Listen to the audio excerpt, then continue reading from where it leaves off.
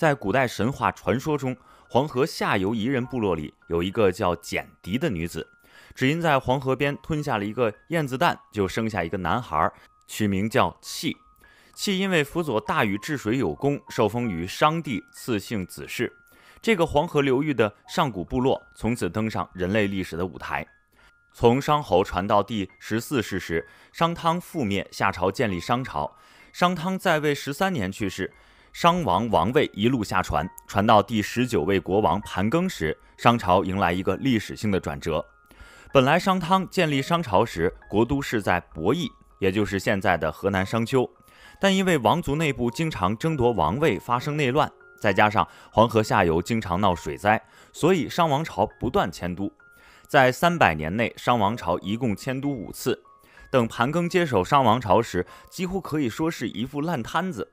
此时的商王朝内忧外患，危机四伏，和夏桀接手夏朝时差不多。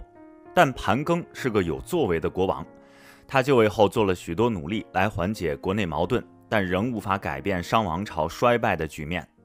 盘庚在经过仔细思考后，决定效法先王，实行第六次迁都。可是大多数贵族贪图安逸，都不愿意搬迁。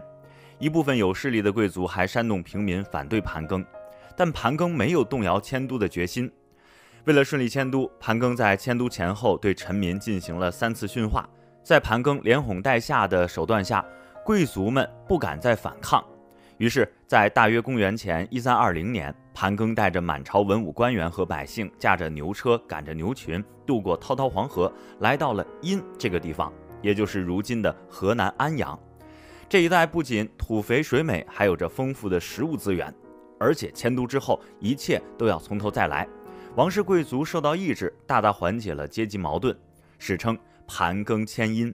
盘庚迁殷，避开了水患和宗室内部斗争的混乱局面，稳定了商朝中央的统治，为以后的商朝中兴奠定了基础，是中国文明发展史上一个重要的里程碑。使中国成为当时世界上的文明大国，商王朝由此出现了分割点。史学上通常把盘庚迁殷之前叫做商前期或者商早期，把盘庚迁殷之后叫做商后期或者商晚期。此后传到第二十二代商王武丁，武丁也是一位很有作为的君主，对内整顿吏治，改进税收，发展农业生产，国家逐渐富强，对外战争不断胜利。商王国的国力达到历史的鼎盛期，史称武丁盛世。但历史的辩证法昭示，事物达到盛极的时候，往往就是衰落的开始。自二十四代商王祖甲以后，社会矛盾加剧，殷商王朝逐渐出现衰乱的景象。第二十七代商王武乙残暴无道，后来在河间打猎时遭电击而死。